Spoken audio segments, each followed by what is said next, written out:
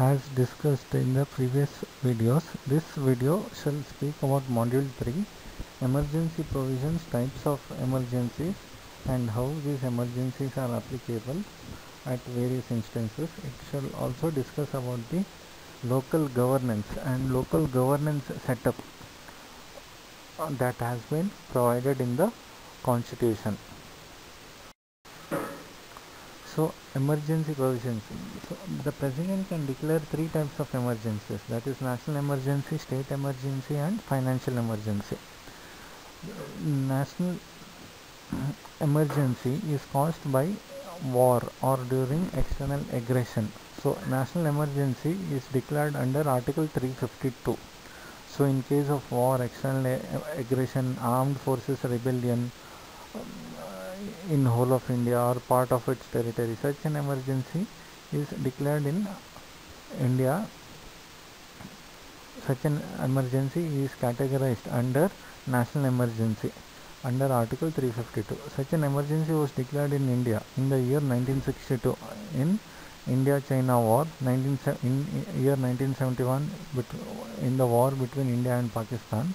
In the year 1975 it was declared by Indira Gandhi to maintain law and order in the country. So the president can declare an emergency only on the basis of written request by the Council of Ministers.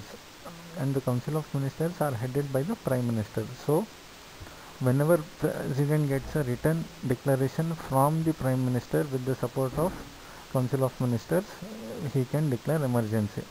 So such a proclamation has to be approved by the Parliament within one month and such an emergency can be imposed for 6 months. It can be extended by 6 months by repeated parliamentary approval. In such an emergency, fundamental right of Indian citizens can be suspended and 6 freedoms under right to freedom are automatically suspended. However, right to life, personal liberty cannot be suspended according to the original constitution. It modifies the federal system of government to the unitary system. So in January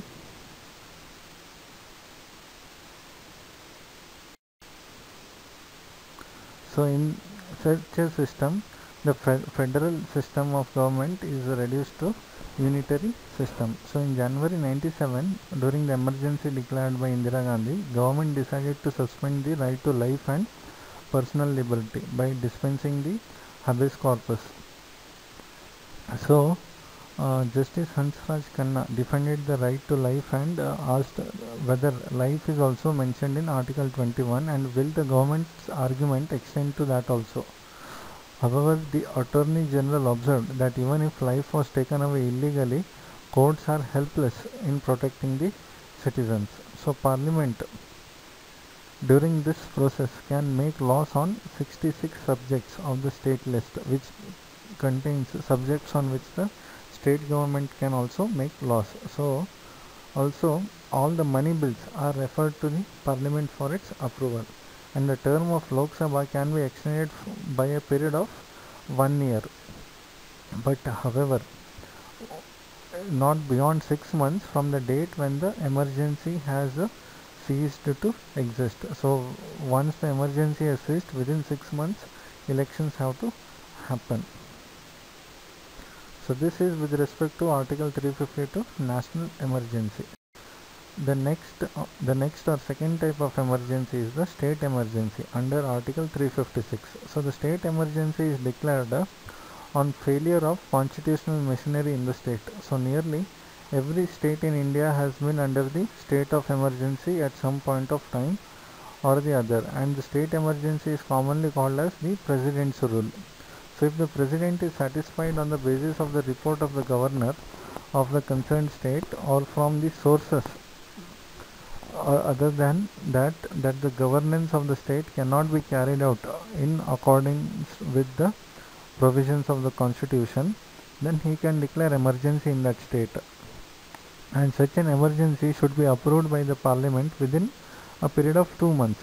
So it is imposed for a period of 6 months and can last for a maximum period of 3 years with respect with repeated the parliamentary approval once in every 6 months. If the emergency is to be extended for more than 3 years then it can be done by constitutional amendment or uh, has happened in punjab and and it has happened in punjab and jammu and kashmir. So during an emergency the president can take over the entire work of the executive and the governor administers the state in the name of the president the legislative assembly of the state will can be dissolved or may remain in the suspended position and the parliament makes laws on the 66 subjects of the state list similar to the national emergency. So all money bills have to be referred to the parliament for approval and in this situation ministers of the state legislature are not allowed to perform any action in the state. So they are deemed to be not valid next type of emergency is financial emergency. So uh, this is covered under the article 360 so if president is satisfied that uh, there is an economic situation in the country in which the financial stability or credibility of the country is threatened then he can declare financial emergency. So such an emergency should be approved by the parliament within 2 months and it has never been declared so far such a situation has never arisen and has been avoided previously once by selling of the gold assets of India.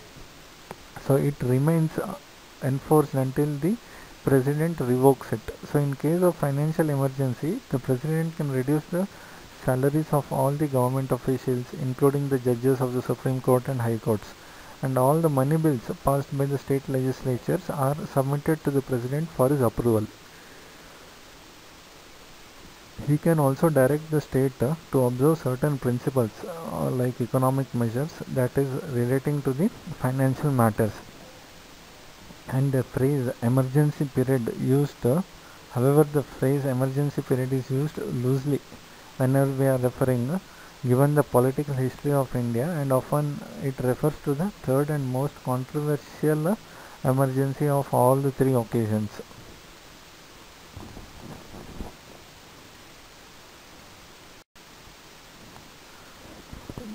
Next is local governance that is municipalities. So municipal governance in india has existed in the year 1687 with the formation of madras municipal corporation. And later on uh, calcutta and bombay municipal corporations were also formed in the year 1726 so early part of the 19th century almost all the towns in india had experienced some form of municipal governance and in 1882 the Viceroy of India Lord Ripon's resolution of local self-government laid the democratic form of municipal governance in India.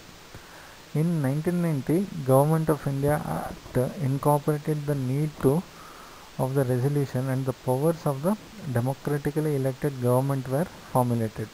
And in 1935 another Government of India Act was what and local government under the purview of state or provincial government and specific powers were given. So according to the census of 1991 there were 33,255 local or urban local bodies in the country and they were classified into four major categories that is municipal corporation, municipal uh, municipalities that is municipal council, municipal board or municipal committee town area committee and notified area committee. The municipal corporations and municipalities are full, fully representative bodies while the notified area committees and town area committees are either fully or partially nominated bodies and as per the Indian constitution's 74th Amendment Act of 92 The later two categories of the towns are to be designated as municipalities or Nagar Panchayats with elected bodies.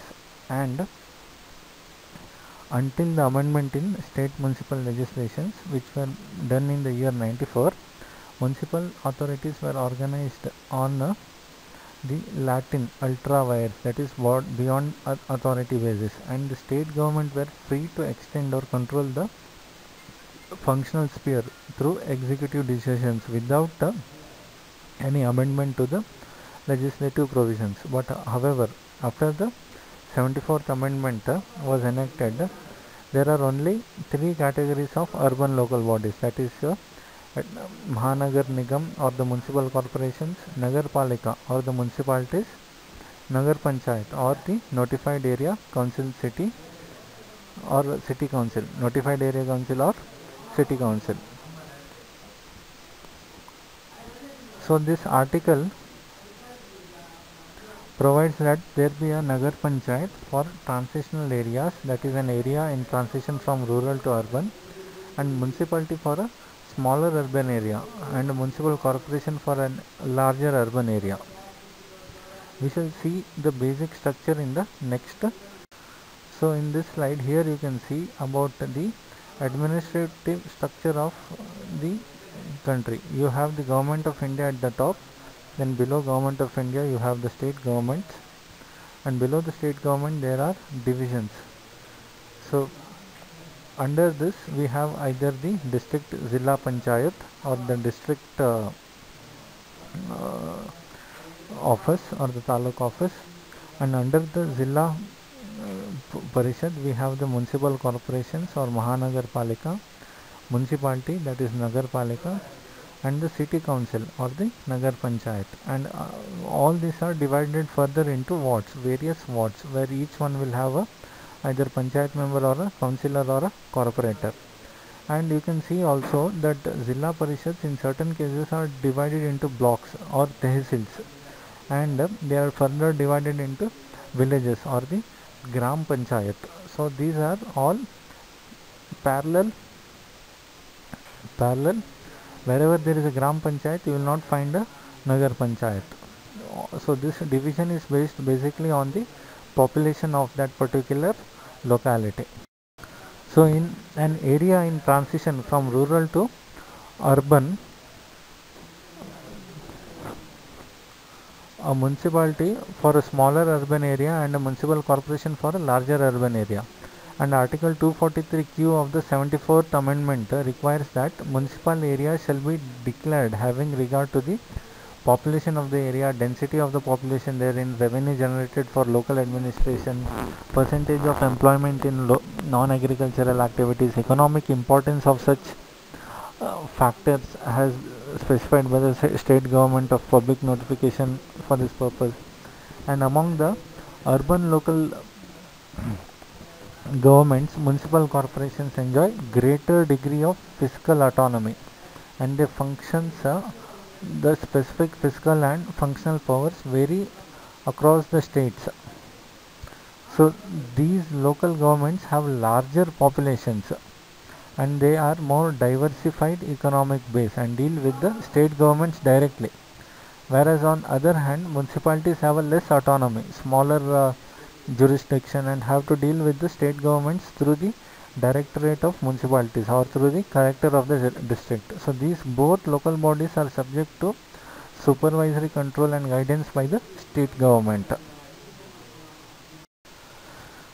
The points explained in the slide that is the responsibilities of the municipalities and municipal corporations have been discussed in the previous slide itself hence uh, refer previous slide for the explanations next is the responsibilities of the urban local bodies.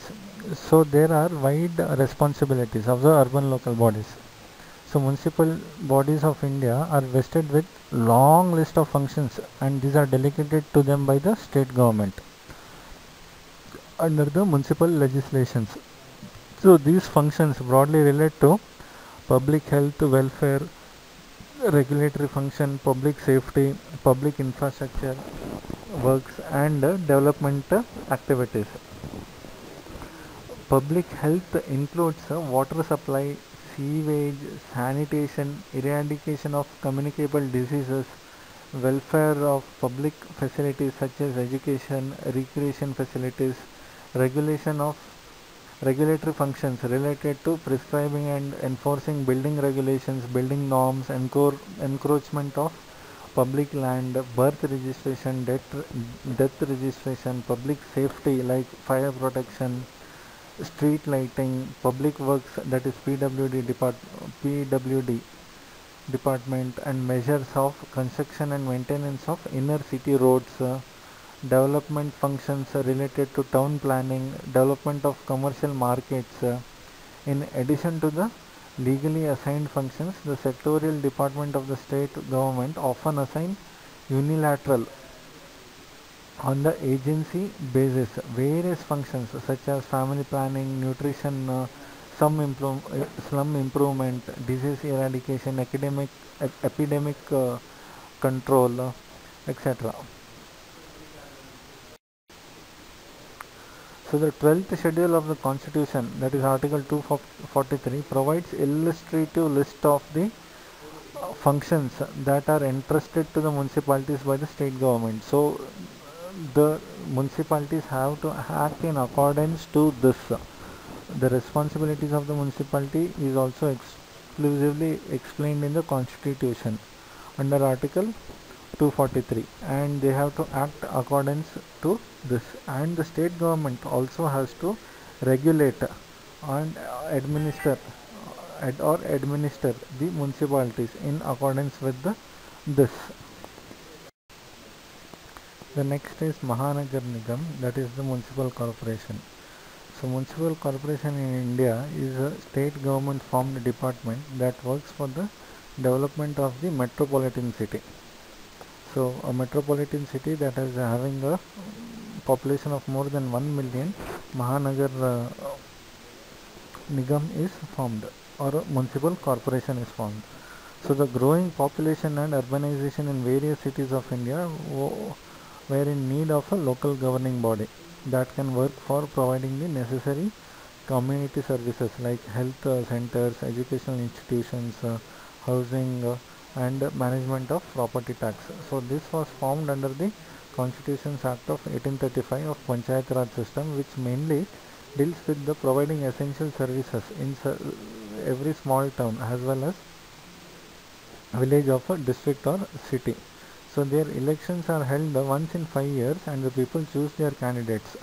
The largest corporation in the five metropolitan cities in India are Delhi, Mumbai, Calcutta, Chennai and Bangalore. So these cities are not only a large population but are also the administrative as well as commercial centers of uh, our country.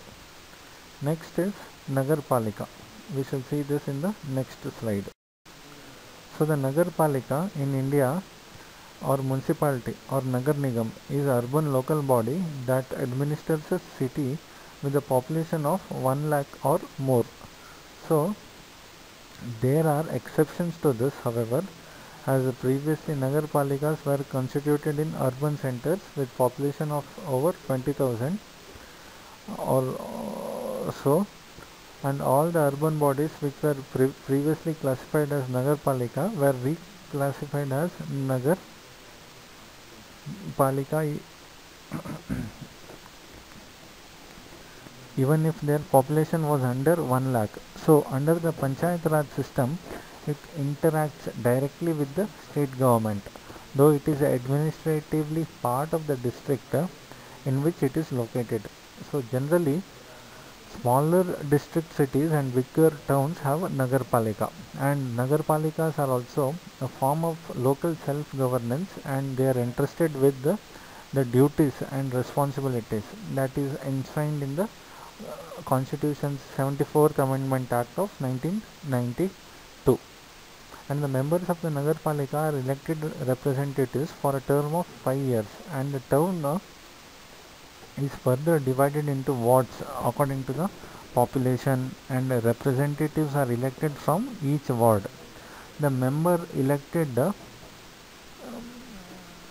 these members elect a president among themselves to preside over and conduct their meetings regularly and the chief officer uh, along with officers like engineers sanitary inspector health inspector health officer education officers uh, who come under the state public service commission are appointed by the state government in order to control the administrative affairs of the nagarpalika next is the nagar panchayat or the notified area council. So nagar panchayat or notified area council or city council is formed from an urban political unit in india and it is comparable to the municipality. So an urban center with more than 11,000 and less than 25,000 inhabitants is classified as a Nagar Panchayat and each Nagar Panchayat has a committee consisting of a chairman with the ward members. So the membership consists of a minimum of 10 elected ward members and 3 nominated members. The members of the Nagar Panchayat are elected from several wards of the Nagar Panchayat on the basis of adult franchises that is election or voting purpose or voting for a period of 5 years and these are seats are reserved for scheduled castes, scheduled tribes, backward classes and women. So the councillors of the ward members choose by are chosen by direct election from the electoral wards of the Nagar Panchayat. Next is the Panchayat. The Panchayat Raj translates literally to governance by five individuals. So the idea is to ensure that at the village level or at the grassroots level also a functioning and vibrant democracy is in place. So while the idea of grassroots democracy is not different or alien to our country, but however in a society where there were sharp inequalities democratic participation is hindered on the ground of gender caste and class. And further traditionally the caste uh, system dominated the panchayats in villages. And hence uh, they were usually represented by a very dominant group furthermore they often held conservative views and often have uh, and continue to take decisions that go against the both democratic norms and procedures. So when the constitution was being drafted, panchayats did not find a mention in it and uh, at this juncture a number of members expressed their sorrow, anger and disappointment over this issue. At the same time the drawing uh, and at the same time sharing his experience, Dr. Uh, B.R. Ambedkar argued that local elites and upper castes were so well entrenched in the society that local self-government only meant uh, of continuing the exploitation of the downtrodden masses of Indian society. And the upper caste will no doubt uh, silence the segment of the population that is downtrodden further Hence he was against this. However, the concept of uh, local governance was very dear to Mahatma Gandhi and he envisaged that each village be self-sufficient unit conducting its own affairs and saw Gram Swaraj, Swaraj to be an ideal model to be continued even after independence. So it was only in 92 that the grassroots democracy was decentralized governance was assured in the 73rd constitutional amendment. And this act um, provided constitutional status to the Panchayat Raj institutions. And it is compulsory now for local self-government bodies in rural and municipal areas to be elected once in every five years. And more importantly the control of local resources is given to these general elected bodies. The 73rd and 74th amendment of the constitution ensured that the reservation of one third of the total seats for women in the elected offices of the local bodies in the rural and urban areas were uh, for women only and out of this 17% were reserved for women from scheduled caste and scheduled tribes. So this amendment brought in a significant change. For the first time women were brought into the uh, administrative uh, responsibilities. And uh, it brought uh, women into elected bodies. And it bestowed them with the decision making powers. And one third of the seats in the local bodies gram panchayats village panchayats and municipalities and every city corporation and district boards are reserved for women. So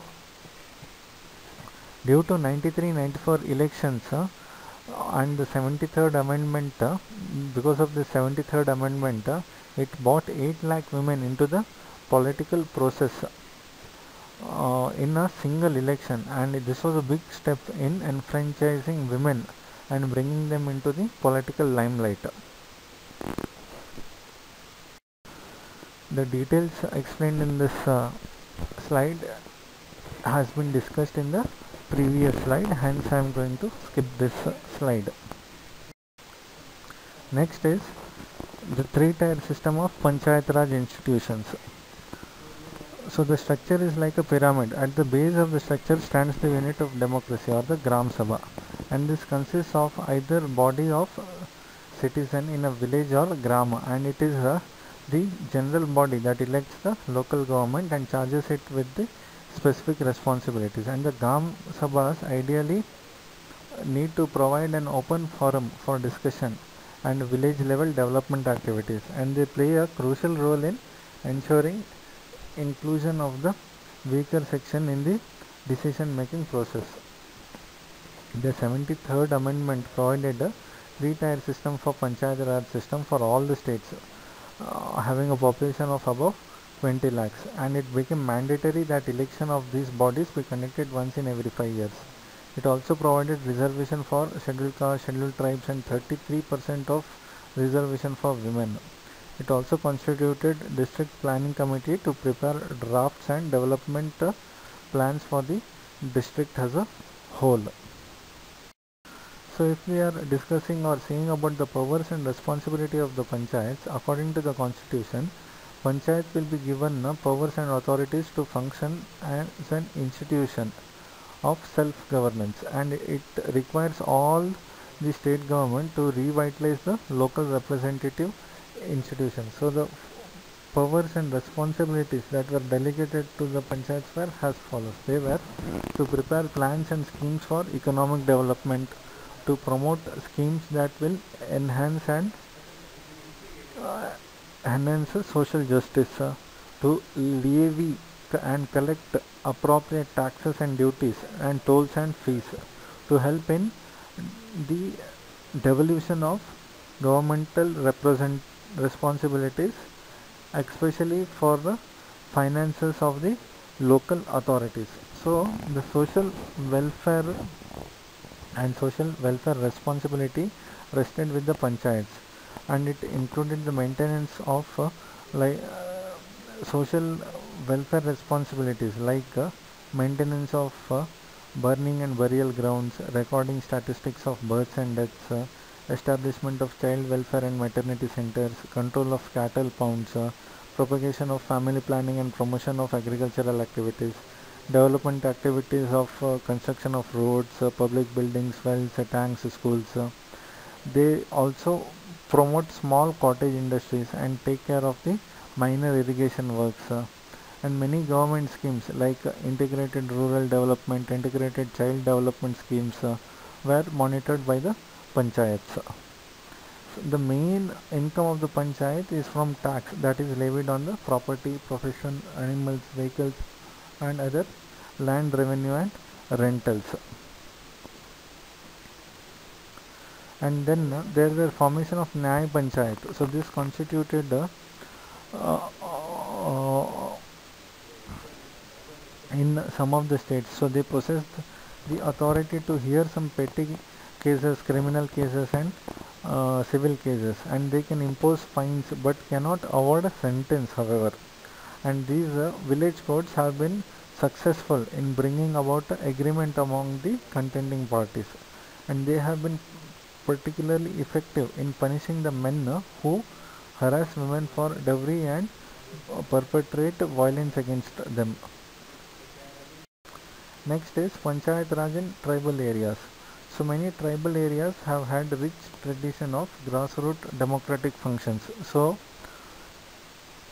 an illustrative example is present from Meghalaya, where all the major ethnic tribal groups, namely the Khasis, Jaintias, Garos, have their own traditional political institutions.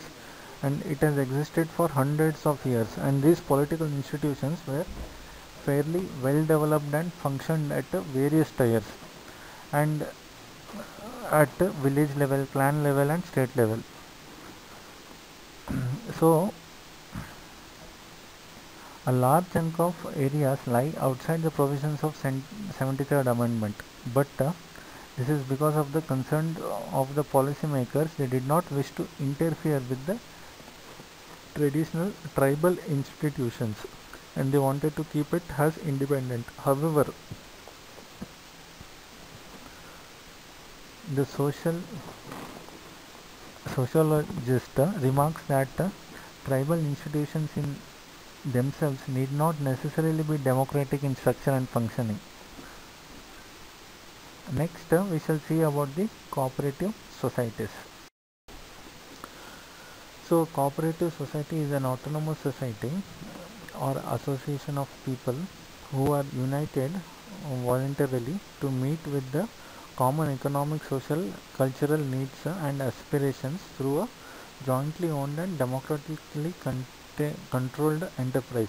So, cooperative society is another means of forming a legal entity to conduct businesses besides uh, forming a company. So, it pulls together all the human resources uh, in the spirit of self and mutual help and uh, mutual development of the uh, group of people who are involved in the cooperative society. So, the cooperative society principles are explained uh, as below that is voluntarily uh, and open membership anybody can be a member and people have to, should not be forced. They have to voluntarily come and join it. It should be democratic control and uh, one member should have only one vote. It should have autonomy and independence. The society should be promoting economic activities. It should be promoting education and information technology. The cooperation among cooperatives should be possible and concern for social and ecological environment should be possible through the cooperative society. Next is how is a cooperative society regulated? So the cooperative operation of a cooperative society is subject to control uh, has to prevent fraud and ensure that every member enjoys equal rights and benefits with respect to the business of the society there should be restrictions on profits disposal and rules to sustain the corporate governance. The cooperative society should be uh, is dissolved and the remaining surpluses will be disposed by the registrar at his discretion for any cooperative purposes only. When cooperative society ordinance uh, enshrines the cooperative principles and director of agriculture, fisheries and conservation is appointed as the registrar for the uh, regulation of the cooperative society's activities. And other than the registered cooperative society or unless approved by the chief executive no one shall trade or carry on business under any name or title of the word cooperative. So how to form a cooperative society? To set up a preparatory committee preferably five members should be there. And uh, they should have the pool human pool and the other resources that is required for formation of the so society. They have to convene uh, meetings to discuss the organizational structure of the proposed cooperative society. Example name object common bond of its members shares and business scope. So they have the draft cooperative bylaws by referring to the model bylaws obtained from the registering uh, registrar and find suitable premises for the society. They have they and they have to recruit members at least 10 people above the age of 18 the right from registering of the cooperative society till the cancellation of its registration the registrar acts as a friend philosopher and guide to the cooperative society and he ensures that the cooperative society functions in accordance with the Cooperative Societies Act.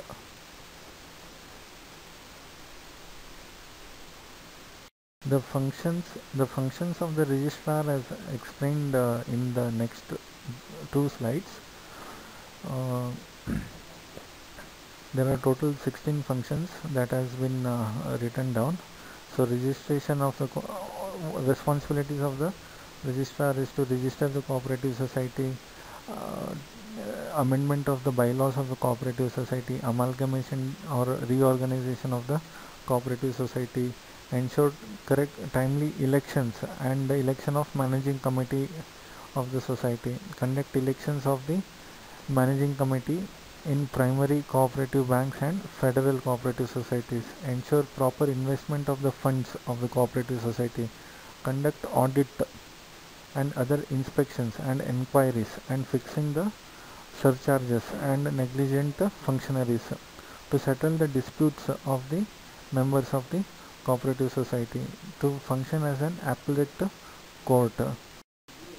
Enforcement or execution of orders awards and decrees of various courts. Order winding up and cancellation of registration of uh, defunct or non-functional societies operating cooperative education fund for training education propaganda and publicity programming to frame uh, or amend Delhi Cooperative Societies rule to issue instructions to or directives for the promotion of the business uh, to approve proposals for enrollment resignation and cessation of membership uh, to frame executive and monitor various beneficiary schemes approved by the central government.